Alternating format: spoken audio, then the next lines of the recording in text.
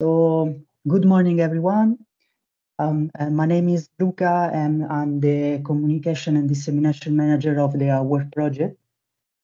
Uh, it's my pleasure to welcome you to today's online symposium on innovating port logistics operations. And uh, so this virtual symposium, were, uh, it's organized by three European Union funded projects, AWARD, uh, Multi-Reload and Freight, each at the forefront of improving port operations through automation. So as you can see from the agenda, the, the event will last about one hour and 30 minutes and will basically have two main sessions. The first will be the project presentation showcasing achievements and progress, where the three projects uh, will be presented. And then in the second session, um, we will have a panel discussion on the future of port automation uh, technologies, uh, at the end of which um, you will have about uh, 10, 15 minutes, let's see, to ask questions to the panelists and the speakers. So of course, I also encourage you to actively uh, participate during the meeting.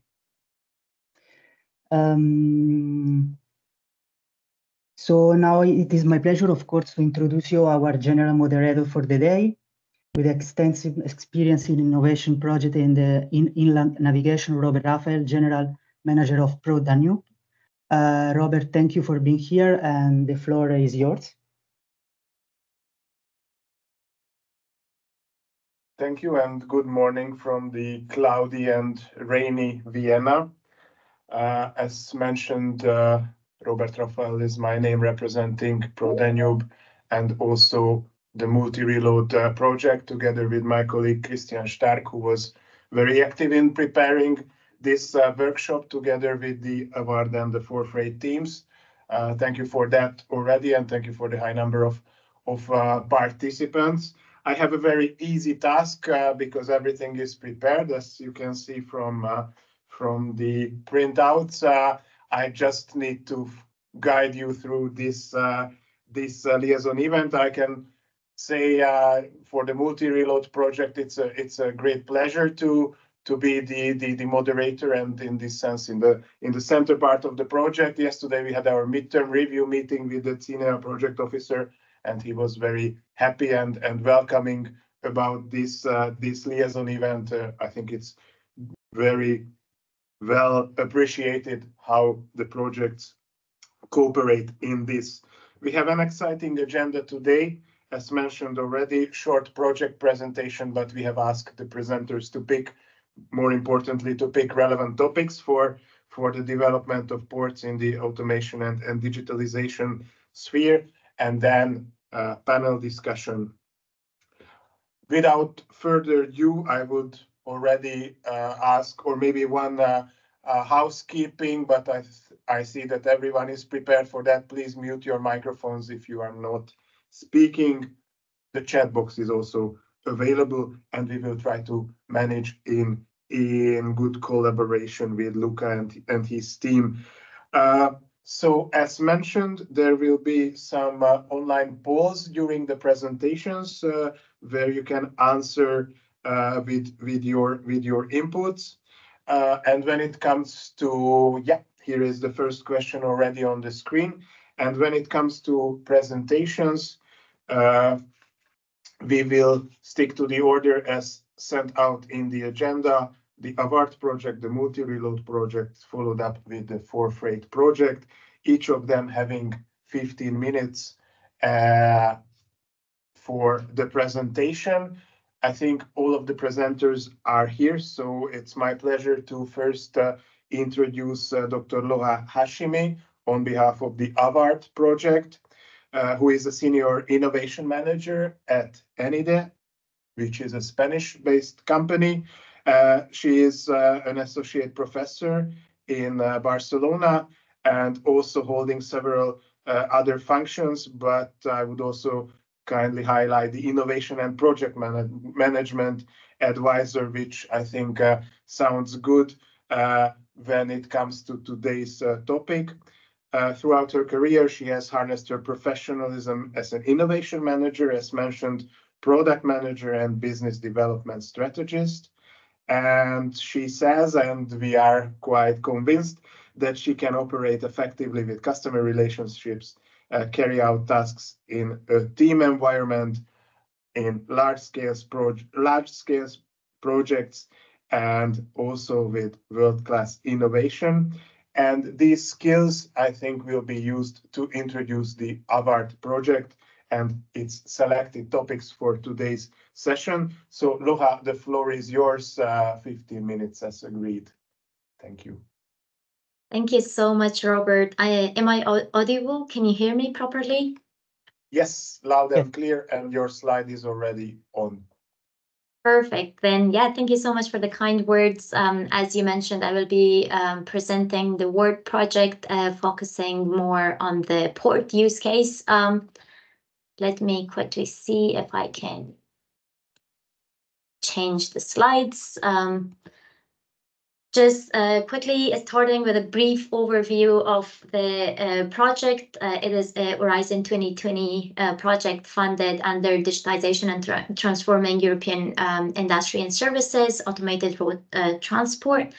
Uh, in order to answer to one of the challenges faced back then, and still I would believe is, is faced by European Union, which is efficient and safe, connected and automated heavy duty vehicles and logistic operations, and um, the problem that award is focusing on is um, if these autonomous vehicles or automated vehicles um, that are supposed to uh, be operating in in um, uh, logistic uh, can actually uh, be used in all weather conditions or what we call harsh weather conditions.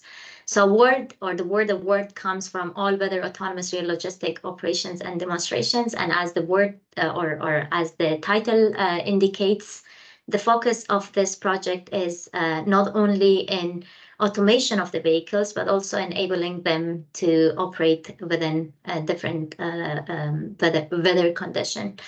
Um, this is a 26 million project. Um, there are 29 partners. Uh, the project is coordinated by EasyMile. Um, and here you can find uh, a list of other uh, partners who are involved actually in the project. Um, Award is developing um, and operating safe autonomous transport system or ATS in a wide range of uh, real life logistic use cases. Here you can see four use cases that the project is focusing on. The first one is the forklift use case, which is about autonomous loading and unloading of the forklift operations. The second use case is the hub-to-hub use case, uh, which is on the autonomous logistic shuttle services on public road. This is the only use case where we have uh, kind of a mixed traffic and, and public road, which, which actually takes us out of the confined areas.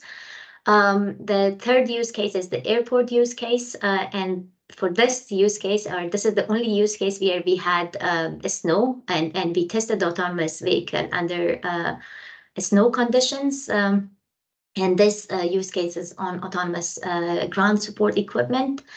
Uh, and the last use case, which I will be focusing on today more, uh, is the port use case, uh, which is on automated transfer operations and ship loading. Um, the systems that uh, we have used in award um, are able to handle um, adverse environmental condition, which is the research question that, that the project is uh, focused on. Uh, and it also targets compliance with ISO 26262 and, and taking into consideration the SOTIF recommendations. We have lots of testings of the vehicle, uh, technical evaluation um, to actually check for SOTIF um, and also make sure that we are complying with ISO.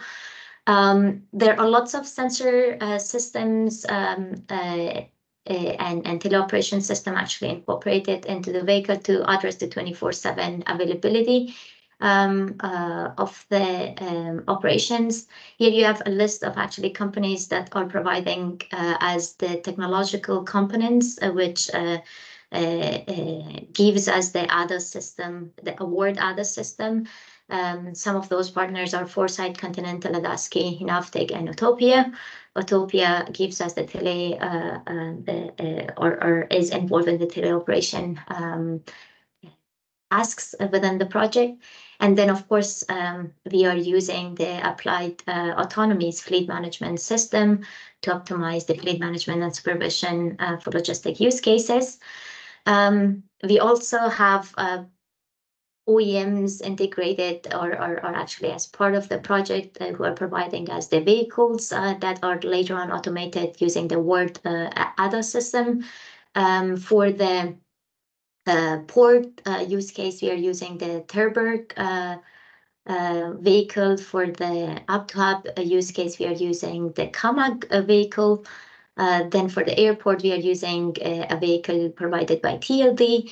And for the forklift use case, we are using uh, Palfinger's forklift, which is uh, um, automized by the AIT, um, uh, Austrian Research uh, Center. Um, Palfinger is not a partner within the project, um, but uh, we are using their uh, forklift and, and um, we try to automate the forklift using the ADAS system of award. Um, since I mentioned the presentation will focus a little bit more on the port use case, um, a little bit, uh, I would like to provide a little bit more information on the port use case. The site um, that uh, we are doing the tests and pilots uh, is based in Rotterdam.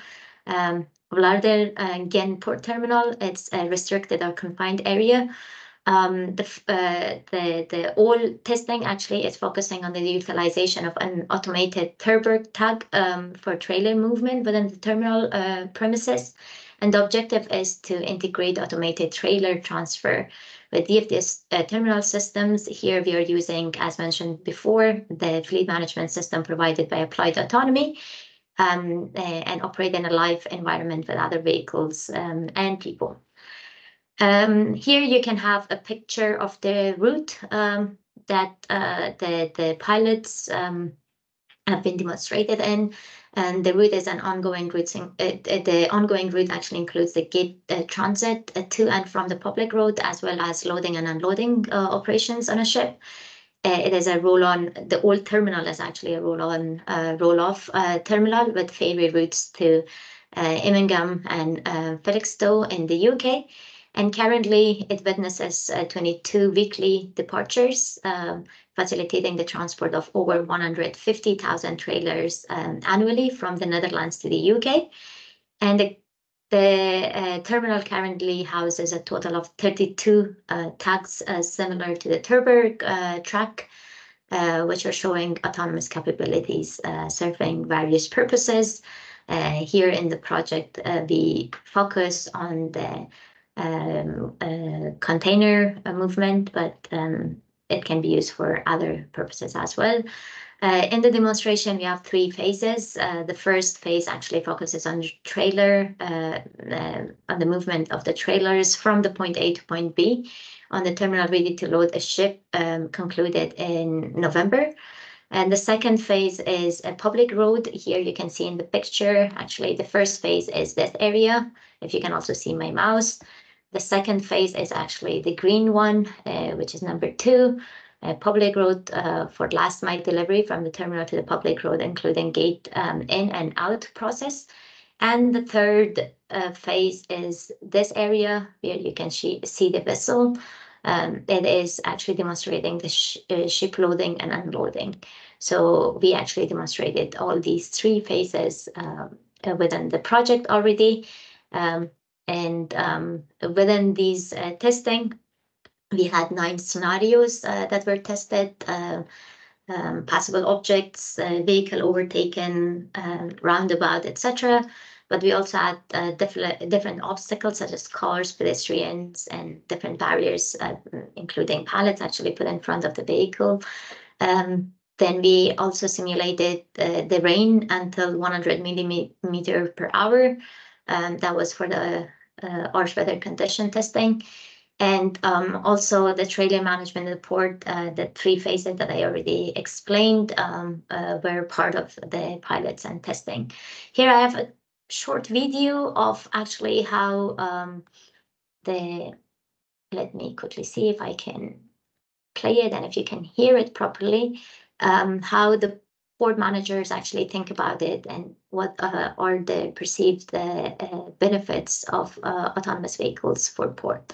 Please let me know if uh, you can hear um, the video I'm playing.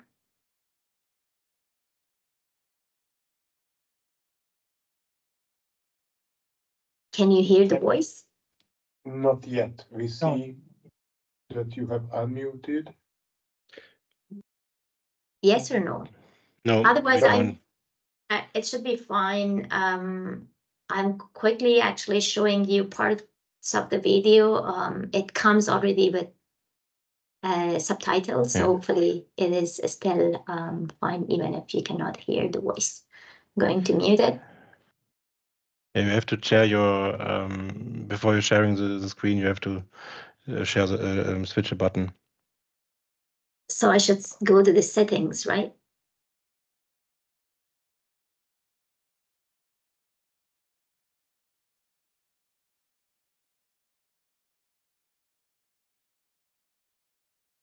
You can see some parts of actually the pilot here, um, and also some um, um, um, statements uh, from the port as well as um, the representative uh, of um, uh, the vehicle manufacturing uh, company. Um, also, uh, I believe EasyMile, someone from on the back uh, on behalf of EasyMile is talking. And the focus is actually um, to show you how it works. As you saw, um, it is um, in autonomous uh, mode. Uh, probably in the previous uh, part, you saw that um, the uh, driver had his um, hands on his laps, so uh, he was not using. And here are the different phases that I was uh, talking about previously. Um, just to give you a snap uh, of what actually happened during the testing week. This is the third phase where you can see the vehicle is already inside the vessel. Now it is actually trying to park. So that's the parking phase. And here are uh, some uh, shots of the fleet management system that was um, uh, also integrated to the system that DFDS is using to also automate the whole ordering part um, in order to make sure that there is no human intervention.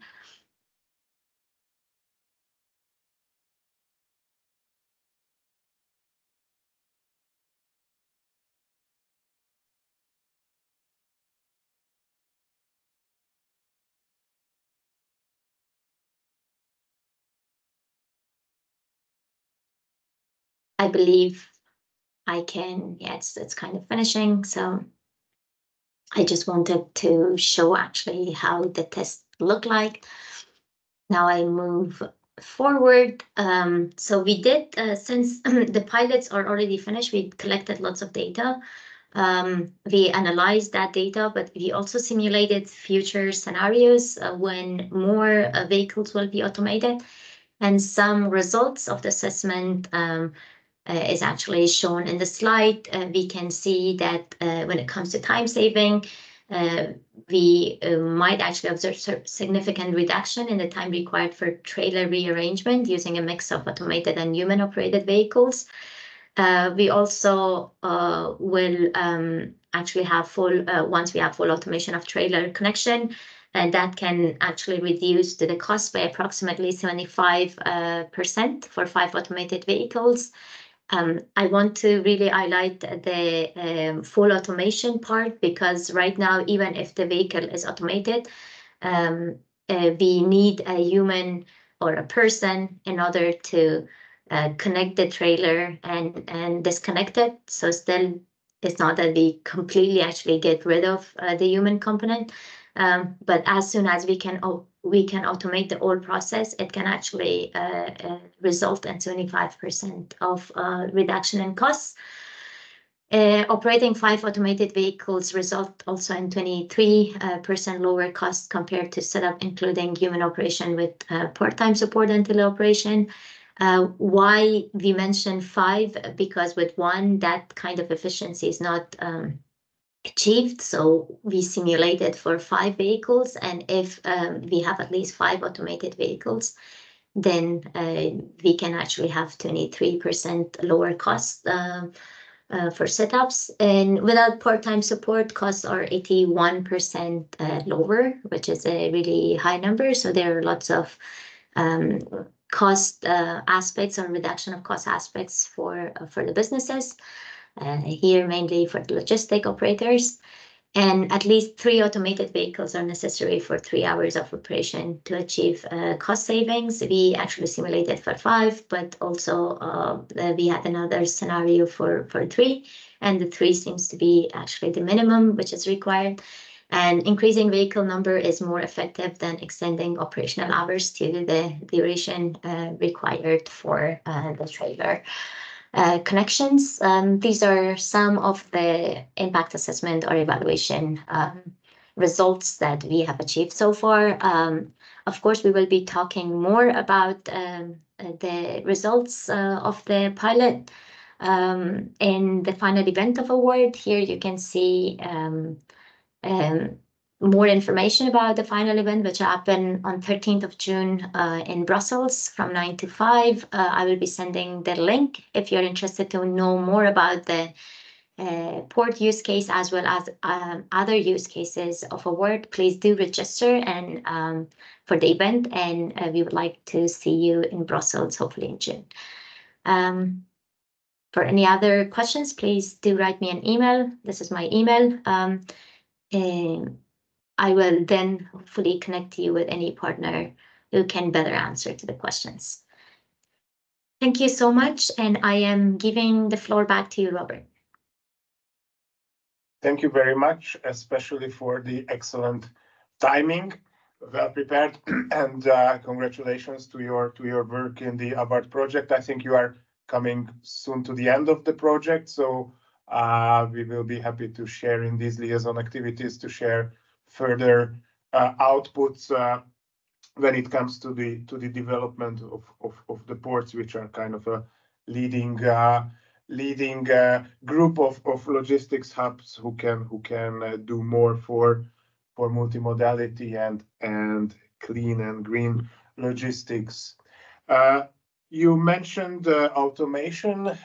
All these automation and digitalization aspects need a high precise positioning uh, uh, of of several loading units or all the loading units and all the vehicles. Uh, this is what is the topic which is picked out from the multi-reload project, which leads me to introduce the next speaker. I think Achim is also around. Yes, the camera is also working. Achim is team leader for the multinational logistics uh, in the Department for Transportation Logistics at the Fraunhofer Institute for Material Flow and Logistics in Dortmund, Germany. He has more than 17 years experience in the field of applied research and consulting, which includes uh, market studies, ramp-up analysis of new technologies, and digitalization solutions for multimodal transports. Uh, one of the key uh, stakeholders in the multi-reload project is the Port of Duisburg. This is where also the selected demonstrator case takes place, and this is what Achim will introduce us, and your slide is already online. So Achim, the floor is yours again for 15 minutes.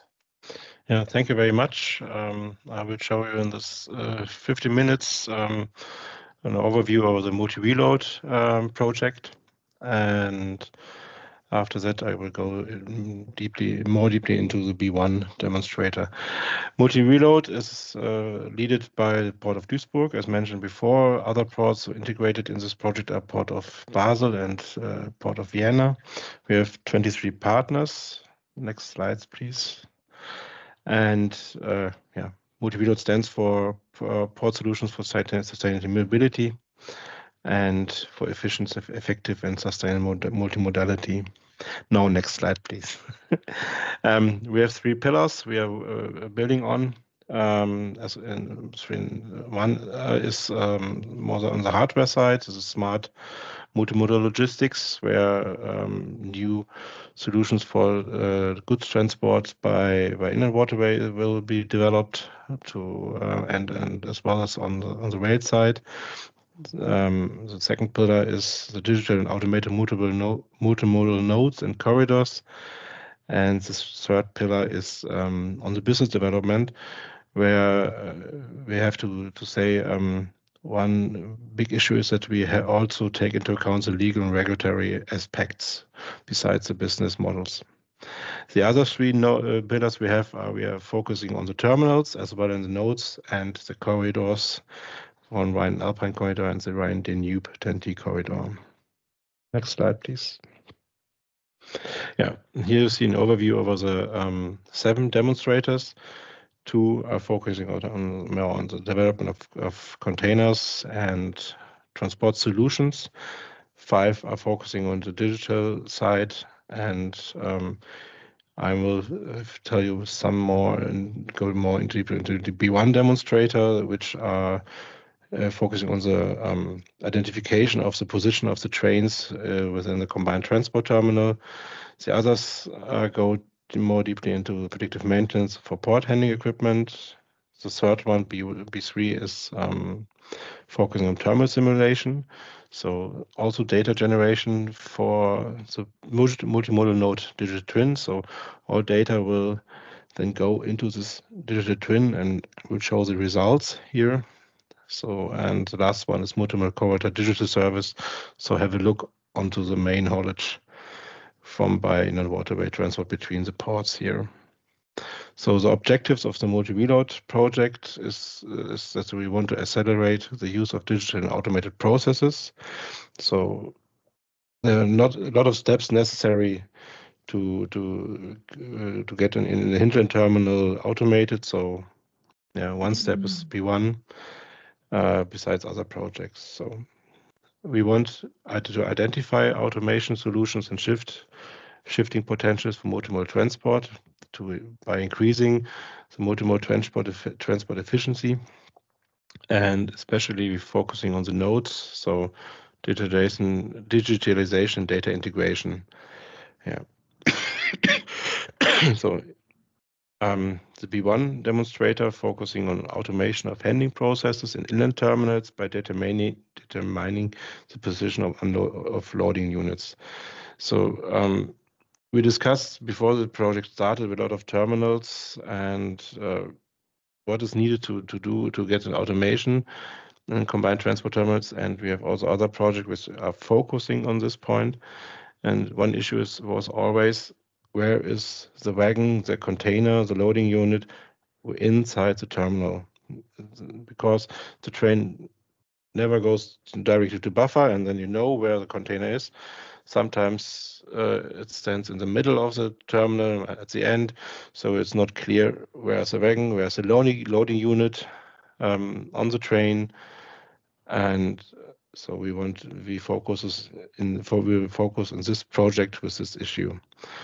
Data will be generated by the Railgate before the terminal. So the basic data, the ISO code of the loading unit, the wagon number, position of the container on the train, um, the pin settings uh, also are covered um, within the, this project.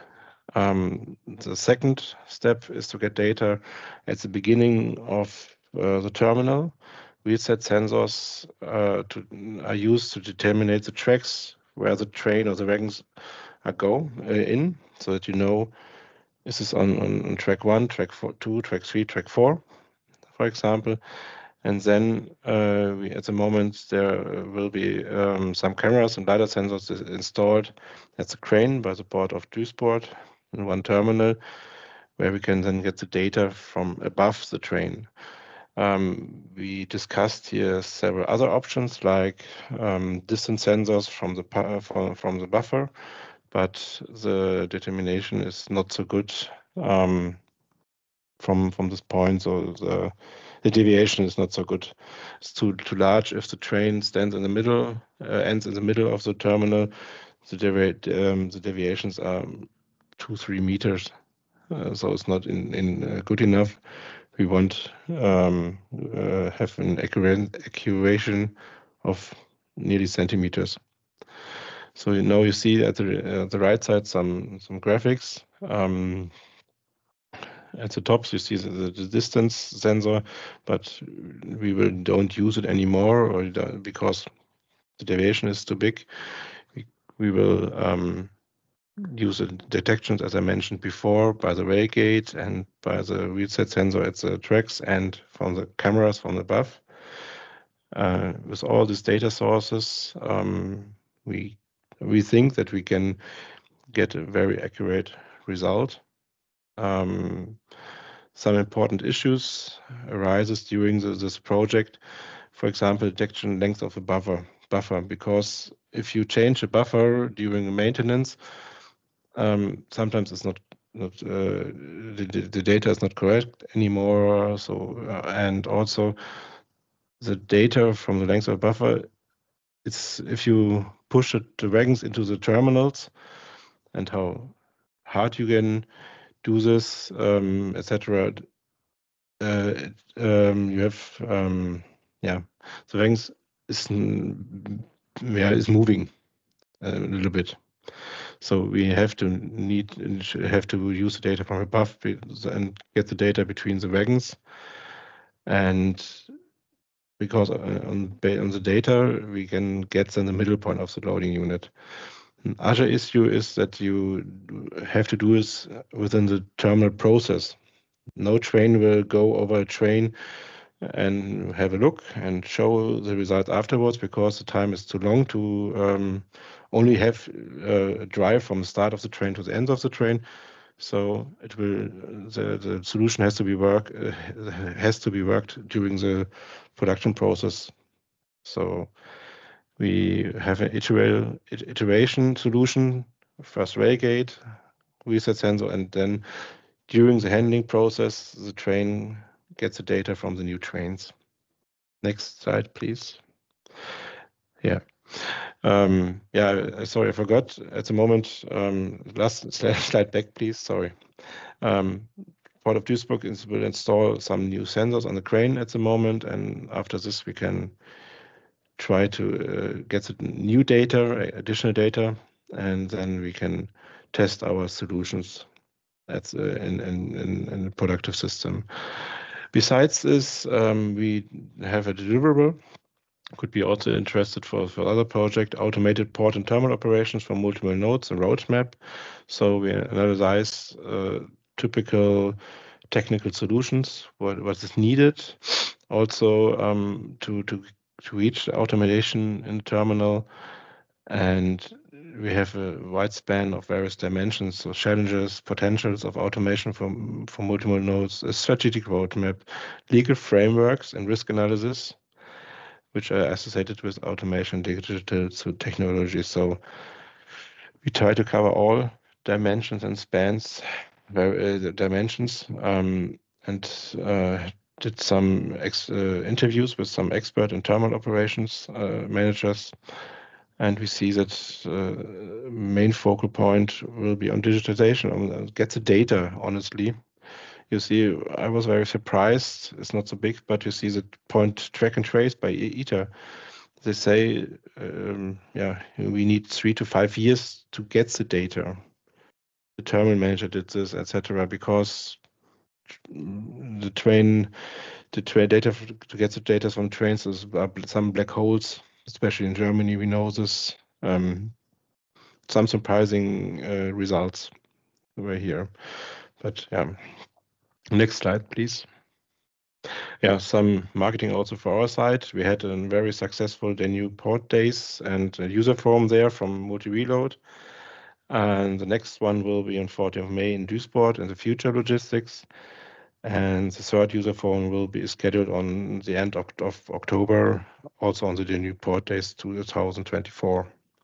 So we'll be happy to see you there and uh, have some fruitful discussions in this user forums. Yeah, thank you for your attention.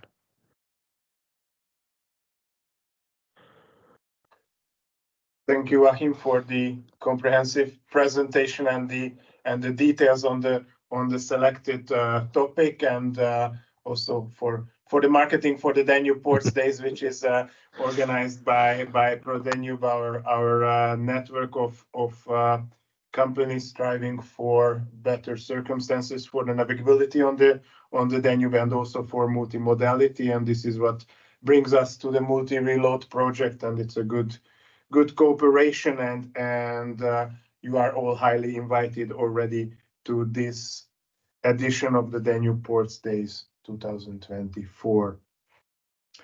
Uh, last but not least, I mean, in the in the past two presentations, we were talking about vehicles and and positioning or, let's say, kind of point-based uh, solution, if I can say so that. Uh, but with the 4Freight project presentation and and the details or the selected details from 4Freight, if I had a good look in the past uh, minutes, we will also get a glimpse on how the technologies or how the available uh, ICT technologies can bring in uh, and bring together elements to enhance multimodality and automation in ports. The project and the selected topics will be presented by Dr. Orestis Manos, and I think you are already online. Thank you very much. Orestis is uh, working for the WINGS ICT Solutions uh, company as uh, as a development engineer and researcher and is holding PhD in physics from the Bielefeld University. He has extensive experience in the design, fabrication, simulation, and characterization of thin-film magnetic material systems and devices for storage, for sensoring, and energy harvesting applications. With this introduction, Dr. Manos, I give you the floor for, again, 15 minutes for the short intro on the project and its relevant topic for today's session. The floor is yours. Thank you very much, Robert, for the kind introduction. It's my great pleasure to share with uh, you all the platform. Uh, on behalf uh, of our colleagues in 4Freight, I would like to express our honor uh, to participate in this event. We consider this as a distinct privilege to interact and discuss with you about the opportunities to advance significantly the transport and logistics domain. Now, regarding the multimodal freight transportation, as we know, Uh, this is the main goal of uh, 4Freight, to advance significantly uh, multimodal transportation nodes and most of the times contradictory in terms of objectives. We run three use cases. One is at the port of Galați in Romania, where we combine river and rail transportation. Uh, the second is uh, in uh, in Athens, running a use case combining the Port of Piraeus with Athens International Airport. And uh the third use case is in Port of Valencia, and which combines Metro de Madrid also, which is the last-mile delivery um, entity here. Uh, next slide, please. Yes. First of all, uh, if we we are trying to uh, propose some solutions, we have to identify the root causes of a problem, which are the identified obstacles in our case. The first main obstacle is the lack of unified management systems by common interfaces, which inevitably leads to low interoperability. The second Uh, problem uh, is related with the uh, low digitalization information, oh, the logistics processes. And uh the third identified obstacle is about the suboptimal resource planning based on outdated information.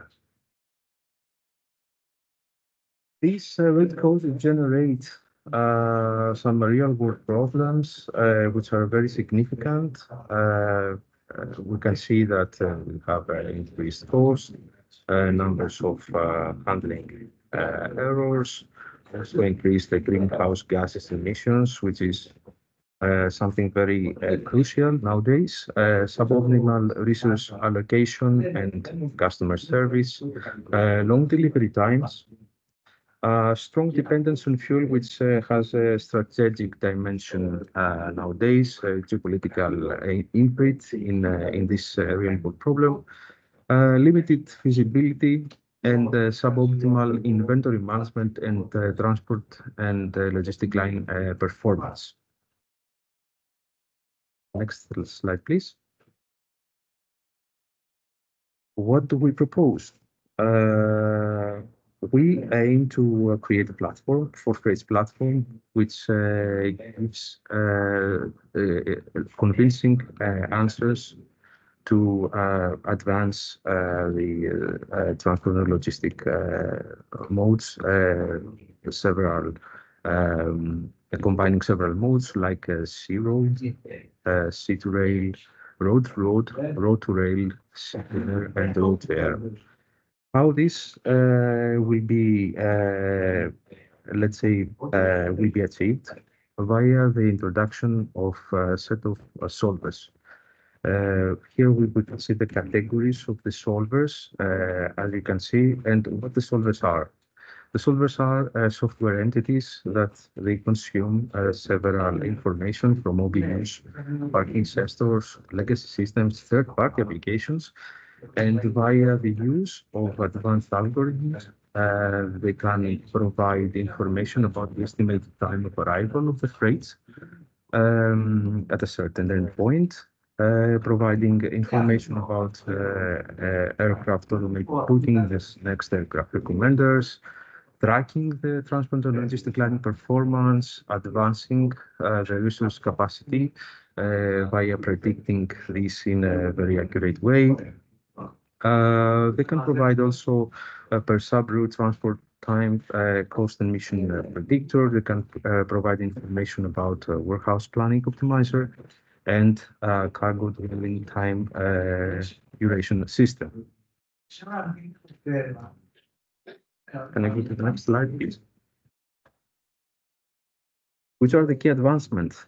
Via the use of these solvers, we can establish scalable and sustainable multimodal logistic ecosystem. We can, with prioritization of interoperability, efficiency, and seamless connectivity. Of course, we have the introduction of innovative features to enhance logistic operations and them. Eh, we can optimize significantly the multimodal eh, logistic services for both stakeholders and customers that they are involved in this case. Which technologies are used in our case? Of course, as we said, uh, since we uh, provide uh since we provide some uh, decision, since we provide some suggestions excuse me, we have decision support systems on the use of resources and end-to-end multimodal transportation planning optimization. What is this? This is the provision of real-time door-to-door tracking. Eh, we can forecast of optimal routing, estimate time of arrival, eh, about the rational eh, utilization of resources, and an end-to-end multimodal transport planning. Uh, of course, uh, we will uh, apply all this in a security framework, in a high security framework, by the use of a blockchain, where we enhance transparency, traceability, security, and the fragmentation of the logistic processes and transaction between actors. We will combine the Internet of Things, monitoring of roller cages, for example, in real time, and uh, many more uh, activities. Of course, by the use of uh, advanced connectivity protocols that they use 5G. And we will um, use, of course, cloud technology and digital twins. Next slide, please. What is the key message and what we want to give as a take-home message? What is the business added value related to the ports?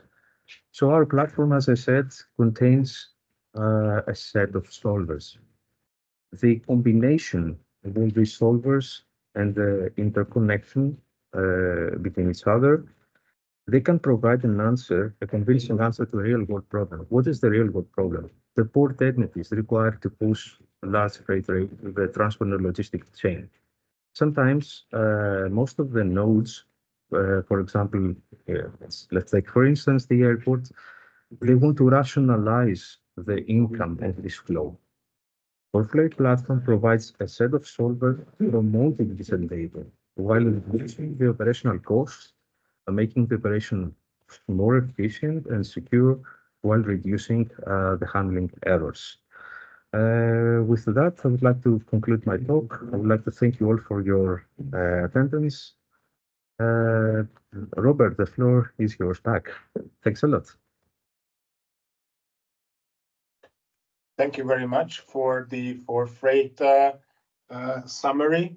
Uh, also, thank you with this. thank you for all the project presenters. thank you for keeping the time. I think it was a good teaser to show, uh, I mean, we all know what crucial role ports play in logistics and, and in multimodality. Uh, we have seen that the, the AWARD project uh, coming to its or, or close to its closure, it has already takeaways from, from physically happened pilots. The sister projects uh, 4Freight and Multi-Reload are in the phase of, of implementing their demos. They still have uh, approximately half of the project uh, duration ahead uh, of those, ahead of, us. and ahead of us, speaking ahead of us, we have excellently, we are excellent on time, and so we can we can embrace the whole approximately 35 minutes which were foreseen for a panel discussion exactly for the topics uh, from the perspective of uh, stakeholders who can take away uh, bits and pieces, uh, hopefully rather larger pieces from the project uh, demos and, and, and outputs and integrate them into their uh, daily works. And let me now use the opportunity to introduce these panelists. We have, and hopefully I can pronounce all the names correctly and please turn on the cameras. I, I think you are all online. Uh, Mr. Mats Skovsgaard Rasmussen from DFDS. Thank you and, and welcome. Uh, he is a seasoned professional in innovation management, project management, and uh, partnerships, currently serving as the innovation project manager at DFDS. He has a proven track record of managing large and complex international projects with several stakeholders, with several objectives. And if I read correctly, you are partner uh, also in the AWARD uh, project uh, when it comes to digitalization and automation of port operations. Thank you for being here.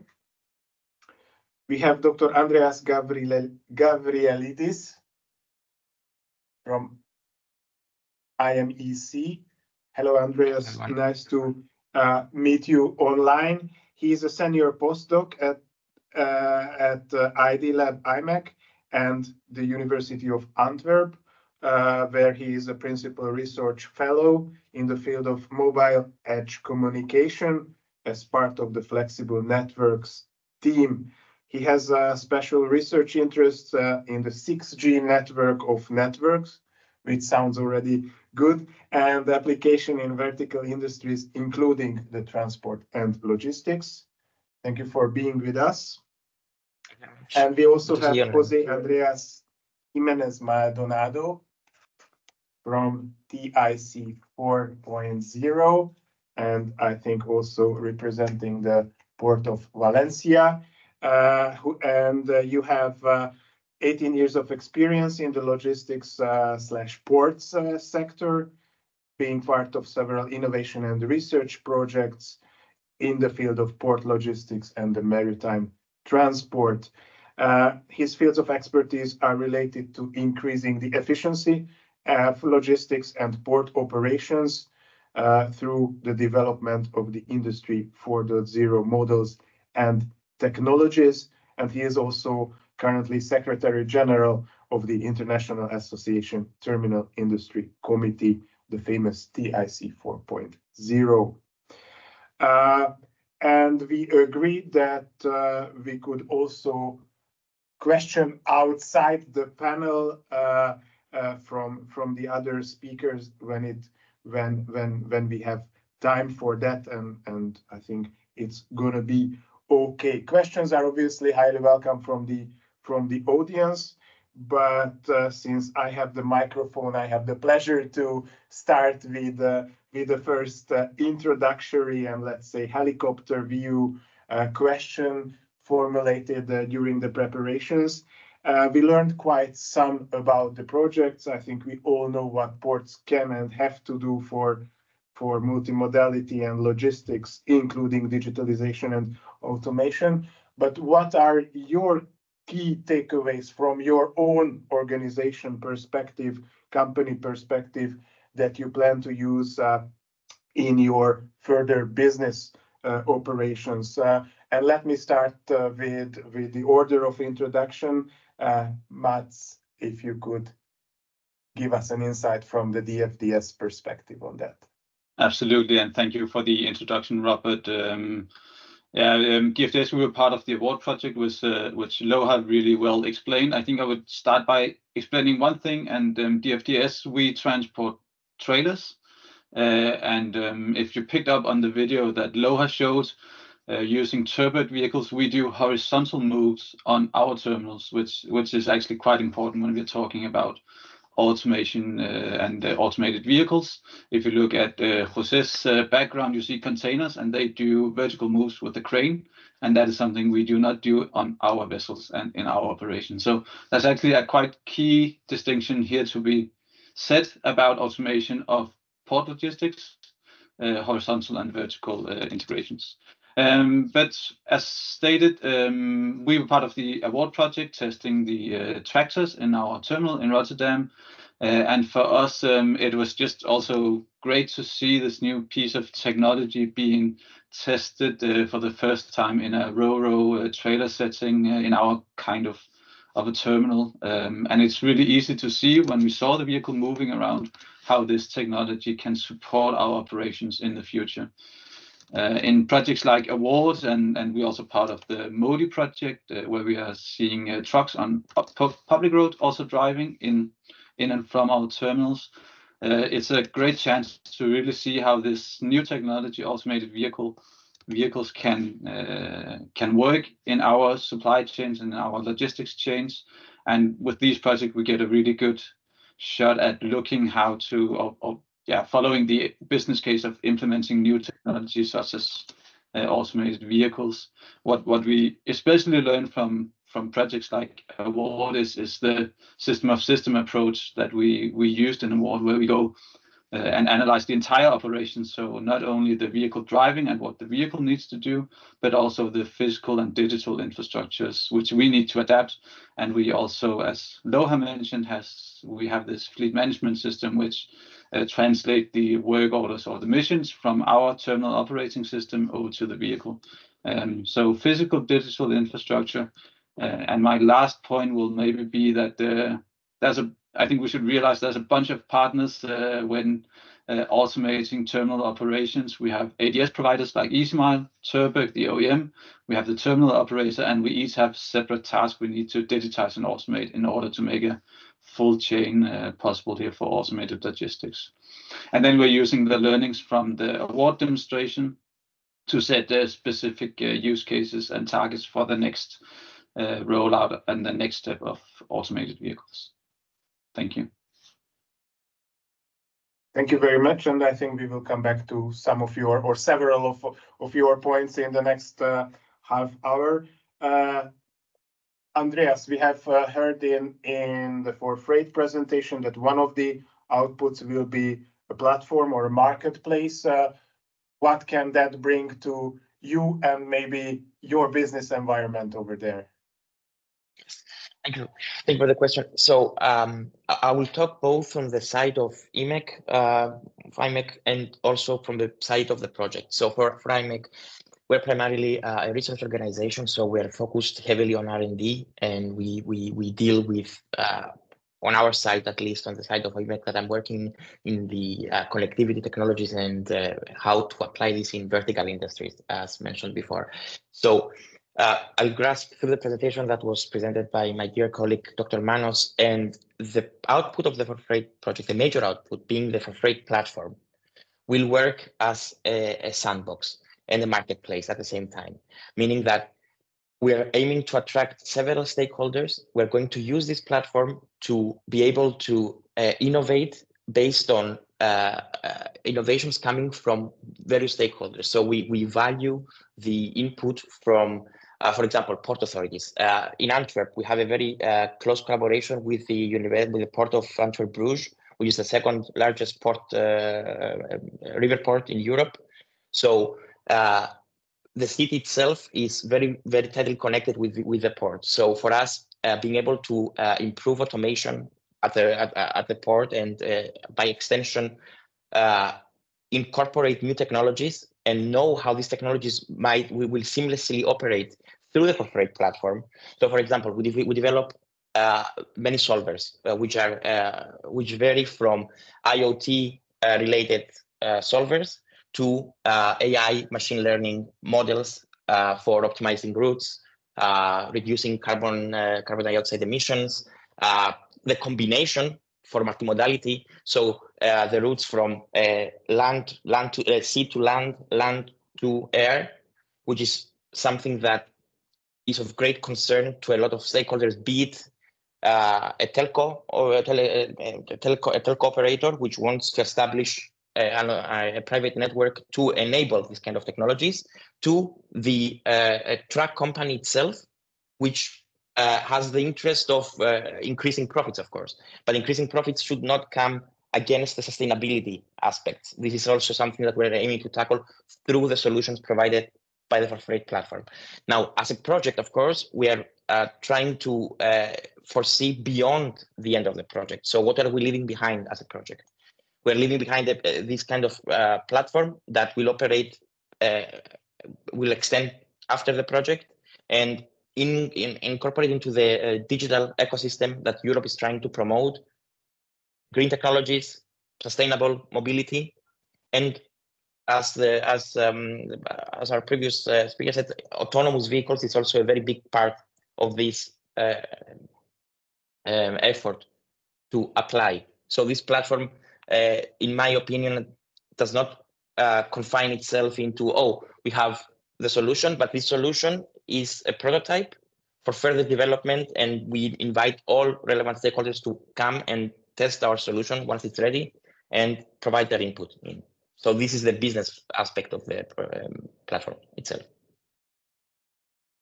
Thank you very much. I think you, you mentioned a, a keyword, and this is what we are also uh, facing in the in the Danube region, especially with the inland uh, waterway perspective, that digitalization should not be there to to digitalize, or not only, but the users also need to feel that it brings something for them. Uh, and for that, we obviously need the standards, but uh, we sometimes say that uh, the end user is not necessarily interested in how the standard works. He or she needs to be clear that uh, they can use the solutions anytime uh, and everywhere, especially when it comes to multimodal operations in ports. And maybe Jose can guide us or, or have some uh, key uh, aspects on that when it comes to standardization and how, for example, your operators uh, can or will make use of it, because I think you are also in in the in the beginning steps of, of, of this process. So if you could if you could give us your perspective, what the businesses could use or what your uh, port can use out of these project initiatives.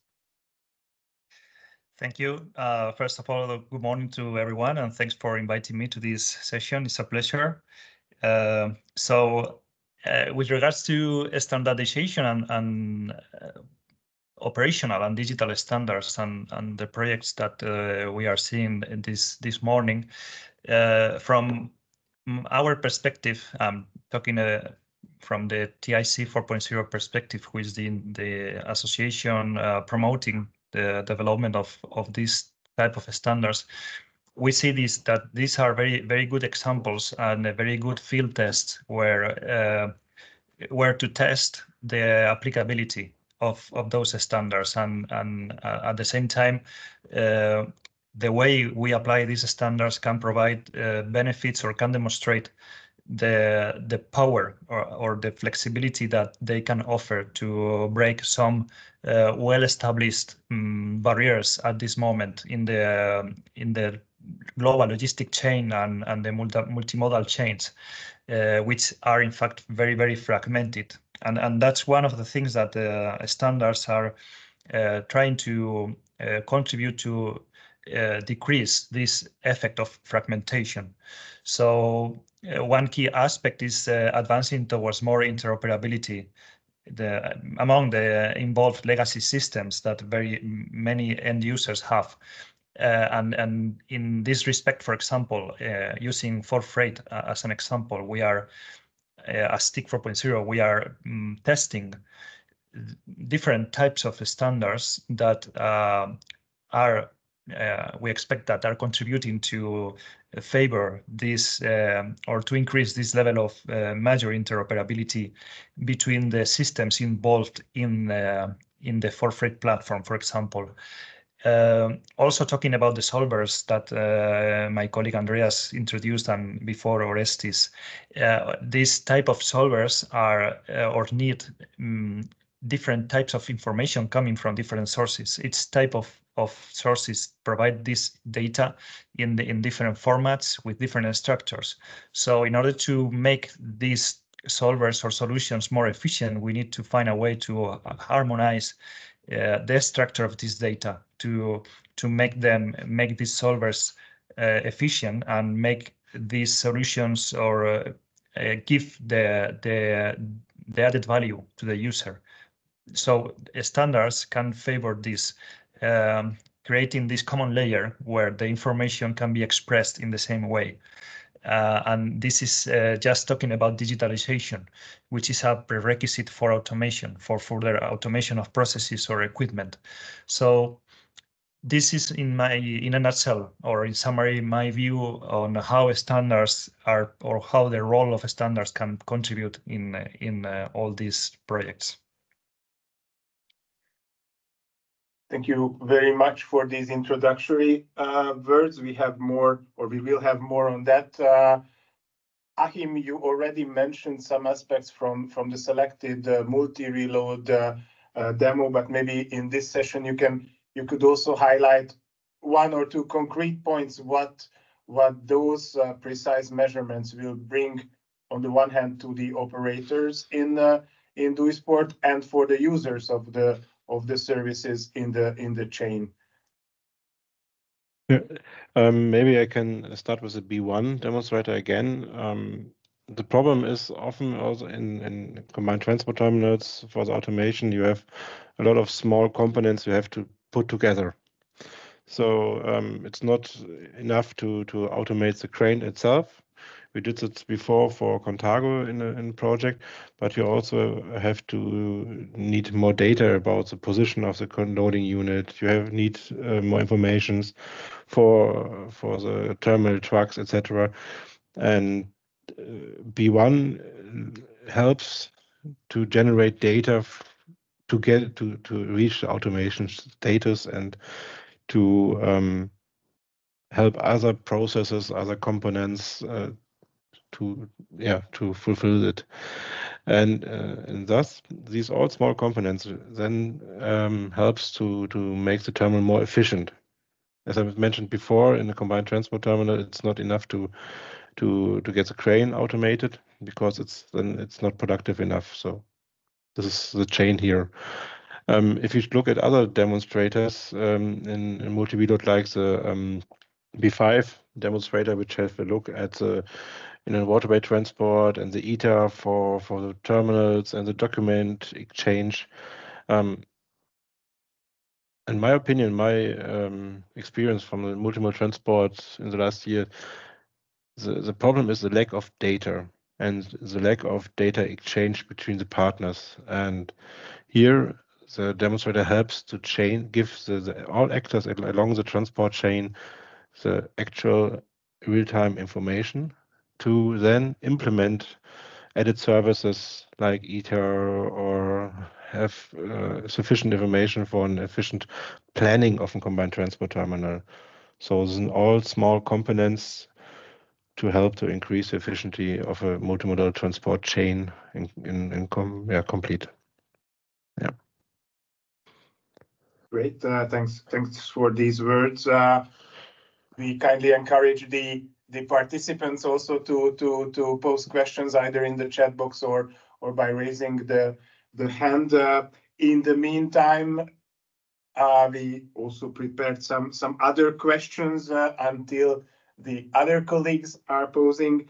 Uh, back to Mats, what or how can the automated vehicles support your your pro your processes and and maybe when it comes to the whole industry in a in a in a long term, uh, including challenges and uh, I think this challenge question I can pose later uh, to to to all of you. What are the challenges? And and the very practical question what I wanted to uh, check personally in the in the video we have seen that there is still a driver sitting uh, on the vehicle but uh, hands in the in the labs. Is that due to safety uh, prescriptions? Will they always need to stay on, bo on board? Uh, or, or in a longer term, can they also uh, join the remote uh, center somewhere? So three questions in, in one package.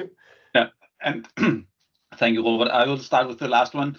The, the vision and the business case from our side is definitely we need to remove the driver if we are so and and what i usually when i talk about automated vehicle i say that in the future we will have electrical uh, tractors on our terminal. So that's roughly double triple the price let's say in in rough terms right?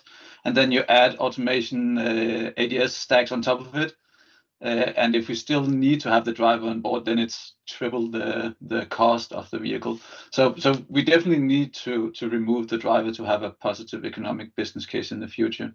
Um, and then if if we look at the benefits of automated vehicles, then then I think the value propositions are quite well known in the industry by now. But efficiency, safety, uh, and transparency also in the operations. Um, we have some global trends or some societal trends that we that we're also facing in the maritime industry and logistics industry about scarce resources, and it's difficult to attract new employees. Um, there's a bunch of value propositions which automated vehicles can support. Uh, and some some of the challenges, and, I will try to make it brief because it's Achim also mentioned it, data and, and the entire digital setup of the, the transport uh, and the planning of it. Uh, back to removing the driver, we need a full automated digital process chain to make this work and to make it profitable for us as, as an operator to invest in it. So we also have some investments on our side to take to support the implementation of, of the vehicles. But we need a fully automated uh, process around the vehicle, and we need a fully automated digital process uh, supporting uh, the operation. Another question popping up, uh, still still with you, Mats, is that uh, we heard in in uh, in autonomous, so in in road traffic with with private cars, technical question. Can you operate in an environment where your competitor operating in the same port is not using uh, autonomous uh, vehicles? Can can you envisage a mixed environment, or or is that not what what you are envisioning? I don't have a clear answer on that. That's a million dollar question. But I think when we are envisioning and, and seeing the, the transport system of the future, we see a, a mix uh, between the, the human and, and automated vehicles. Um, I don't think that we can, on the short term, uh, anticipate that all our customers they go automated and autonomous. Um, but we can try and control our part of the, the logistics chain uh, as a beginning. Um, and then I, I, maybe left out one thing here. So so, and and I I do this also when I'm talking about automated vehicles, but I tend to talk about the technological challenges. There's also a human factor to it. Um, if we are accepting automated vehicles and and um, accepting digitalization in, in general, and there's also labor unions, uh, which we as terminal operators we need to address, and definitely for most of our terminals we will have tough discussions uh, when implementing uh, automated autonomous vehicles one question before giving the floor, uh, because I see a hand uh, up. You more or less all mentioned that data, and obviously data, are crucial in digitalization and automation and in the whole logistics process. Lack of data, and one might think that all the data are there.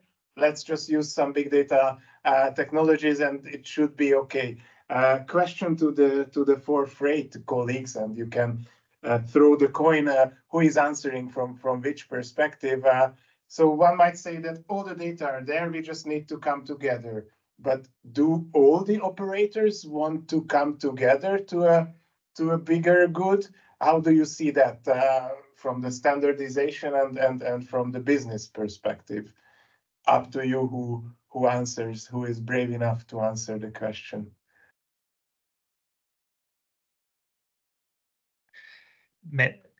uh, Andreas, if you want to go ahead. No, no, please, please, we can go. We can both go. I mean, please, uh, Jose, uh, go ahead, and then I can follow with the with the other way. okay, I, I I'll just will give a a, short uh, um, uh, reaction on on your question, which is really the uh, interesting topic uh, in the in the industry about the data. yes, that's true. There are a lot and big amounts of data out there. Uh, problem is that not all it's not always easy to order or to structure in a comprehensive way all this data. That's we were talk. That's why we are talking about standardizing the information. Even within the same uh, company, you may find lots of uh, silos of information managed by uh, systems that, that, are not uh, interoperable. So yes, data is available, uh, but maybe not as easy as uh, we think.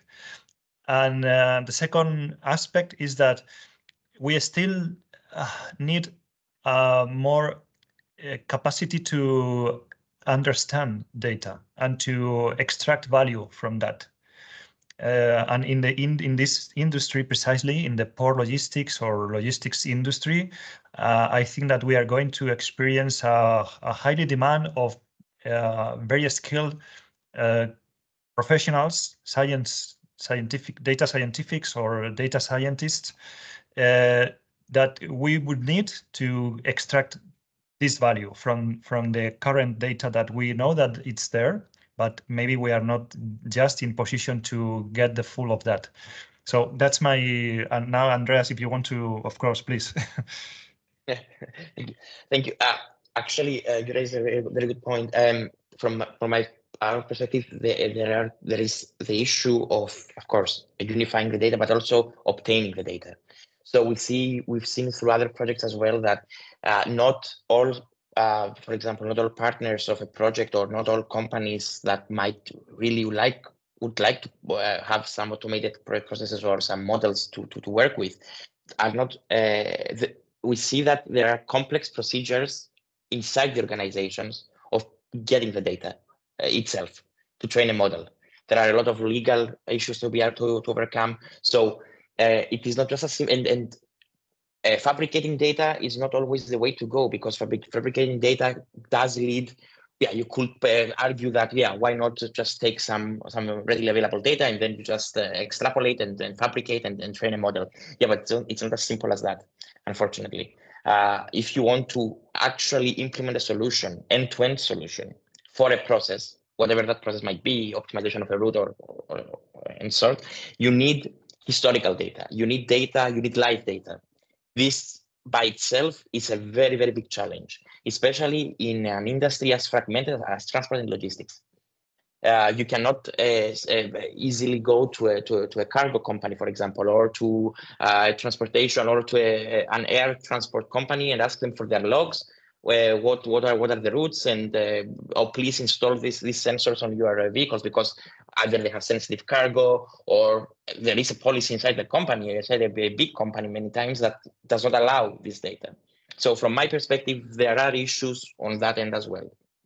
So to overcome them, it's not as simple as say, yeah, please give us your data and we will give you some models because then there are all sorts of uh, privacy and security um, uh, cases to be addressed as well through legal departments. And so, yeah, there are these kind of issues to uh, obtain.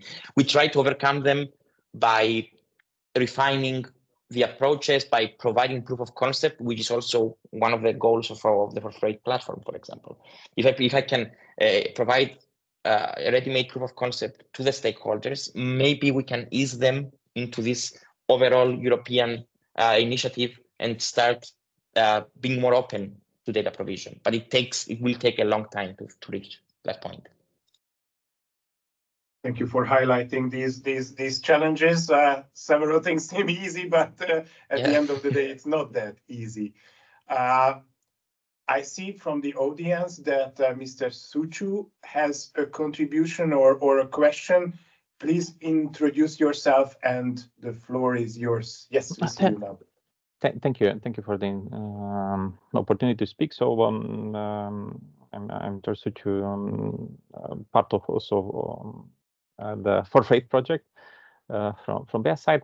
Maybe as a, as a follow up, uh, you you mentioned also the the, the keyword of, of standardization. So I was interested in in the different projects where you see more more um, effort, where more um, activity in this standardization in the interoperability. So more on the modeling part, more on the uh, data or or maybe on on other uh, topics uh,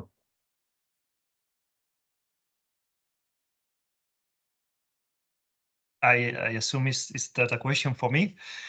Yeah, um, yeah, it can be uh, a, a, okay. discussion or a roundtable for for each project where where you focus your uh, activities. Yeah, well, uh, I can tell you the current uh, status uh, of uh, the the work that we are developing in within the, this association TIC 4.0 and there there is a, a remarkable effort uh, right now in building uh, data models that reflect all the processes that are taking place in uh, in port operations in port logistics. Uh, of, we have started uh, from the port terminal perspective, so the current available data models are very much focused on uh, internal logistics in basically in, in port container terminals.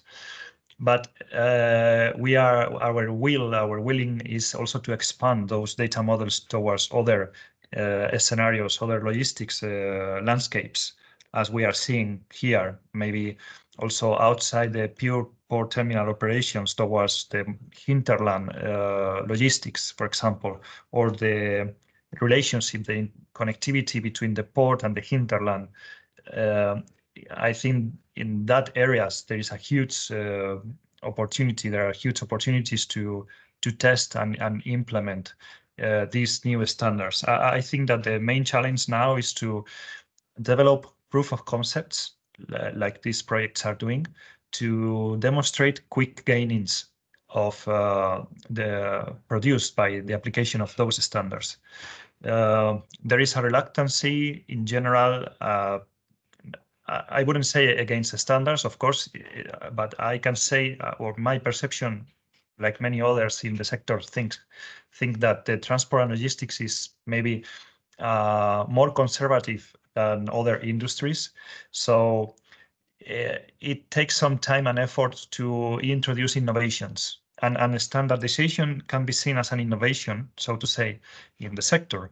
So I think that uh, we have a, a challenge ahead which is demonstrating the utility of uh, using standards. Everybody is talking very positively about that. Now I think we we, we need to, to demonstrate them and with this uh, favor that this adoption becomes uh, you know more spread and, and more wide or wider in the in the sector. Okay, thank thank you. So so you see already this kind of data spaces concept uh, coming to to um, towards um, the data Mhm. models that that you are um, extending now, or or this is too far, let's say, from from. Uh, well, I, I would say that we we have already have uh, what not maybe data spaces yet, but we have examples of data lakes Okay. in in uh, several uh, in facilities in several uh, ports. Uh, data lakes that are created that have been created with TIC standards.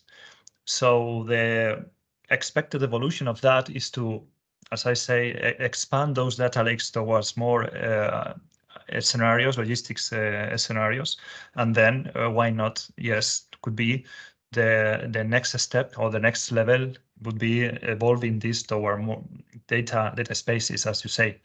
Uh, but i- i- of course, this will require some time. Okay, thank thank you, thank you very much.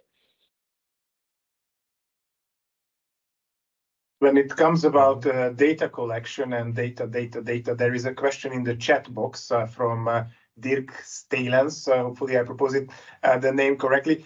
Is the data that is collected in the project used as input for a digital twin to simulate processes or activities in a port or terminal? Uh, on behalf of the multi-reload, if I might change the hat or, or go with the hat, uh, yes, in the multi-reload project, there is a digital twin being prepared, taking into uh, taking in several aspects uh, also from from currently uh, in currently under uh, installation uh, uh, sensors. Uh, so yes, in multi-reload there will be uh, a digital twin built up. Uh, anyone from the AWARD project can answer that question? Or in the meantime, on behalf of the 4Freight uh, project?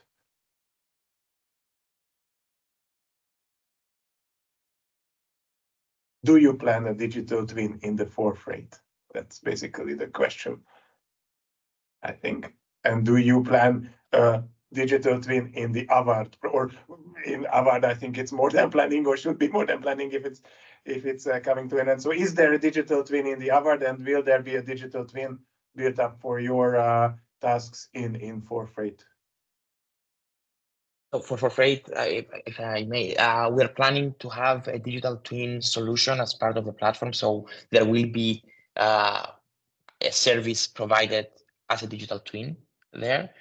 But in our case, it will more or less uh, be, um, well, we're planning also a, a digital twin-esque, if I can say, on the on the Port of Valencia uh, solutions provided, let's say, for the next drop of uh, solution. So the, pl- the platform is basically going to take uh, multiple forms. So we're going to release a first version and then a second version. So our goal with our digital twin in that platform is for uh, uh, it's it goes back to my um, sandbox, um, let's say, uh, point that users will be able to uh, toy around with this concept of digital twin and introduce uh, more users on what is a digital twin, what are the capabilities of the digital twin, and why would, would we invest in, in creating uh, more complicated and more uh, larger digital twin environments for future solutions.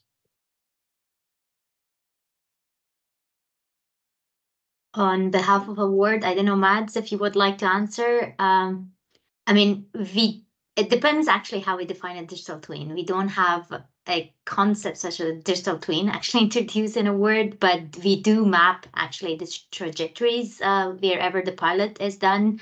If you consider that as a digital twin of the infrastructure, yes, we do have a digital twin, but that's why I wanted to start with how you define actually a digital twin.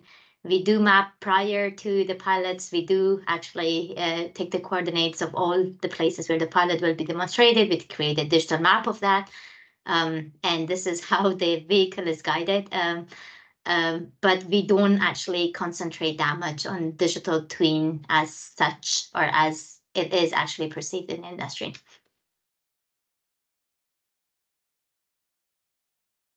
Mads, you're I'm afraid, muted. Mads, something is wrong with the mic. I have seen that you dropped out and in to recheck, but we currently don't hear you. Right now you're muted. If you unmute yourself, hopefully it will be. Uh, no, it seems you've got some problems. Yeah, I think uh, the question of what is a digital twin, it would also be a, be verse, a separate one and a half hour uh, workshop just on the question of of digital twins. Uh, I don't know if Mats, you were able to. No, can you hear me now? Yes. Now, yes. Yeah. Go ahead. Yeah, great. Yeah, sorry, I had some laptop issues. Um, uh, I think if, uh, maybe just uh, comment on what Loha said. Then also, if you the project settings is all with the purposes, and then deploying uh, the new award ADS on uh, on existing vehicle platforms with EasyMile ADS. So the, the objective of Award is, is not so much about uh, digital twin uh, technology rather than testing new sensor technologies and automated vehicles and autonomous vehicles. Thank you. Under, understood. As, and as mentioned, this whole digital twin topic would be versus another uh, uh, workshop in itself. Uh, but when coming to workshops, I think we are closing to the end with with perfect timing. Uh, I don't see any more questions in the in the chat or from the audience, and I think we tackled more or less all the ones uh, which we have pre-prepared. Thank you for the panelists uh, as well uh, for for your time and and uh, valuable inputs. Uh, if I need to conclude this session on on our behalf. Uh, first of all, thanks for the organization, uh, my colleague Christian, and also the the AWARD and, and 4Freight uh, teams, especially to to Luca and and his team. Uh, I think it was a very good learning to to see uh, some key planned and already available takeaways based on the status of of the different uh, EU-funded projects. I think it's also great to see projects coming together on concrete topics and having some business or, industry uh, view on that. Uh, automation is clear, data collection or the lack of data is clear that, that we need to go further on that. And obviously we need to go further or all, all the projects need to go further on really develop delivering benefits out of these projects to the end users and then at the end of the day for the whole European community. Uh, thank you very much for having me and, and Multi Reload as uh, the main moderator of the session. Thank you again for all the preparations, the slides, and the panel discussions. And uh, it was a great pleasure. Uh, see you at other events, for example, at your final event or at our Danube Ports Days, virtually or in person in Budapest as well. Uh, and with that, thanks for the third time and back to Luca as the main mastermind behind session behind the, today's session. Achim, you raised the hand. I raised the wrong hand. ah, yeah, yeah. Okay. Then we discuss separately at the project meeting. Uh, back to Luca for closing yeah, the session. Thank, thank you very much. So I just want to say um, I will send the slides of the project presentation and the recording later today and tomorrow. And you will also find the webinar blog online in the coming days. So I would like to close the session uh, to, to thank uh, Robert for moderating the event, to all the speakers and panelists and everyone who contributed to this joint event. So if there are no further questions, I wish you a good day and thank you for being here. a real pleasure.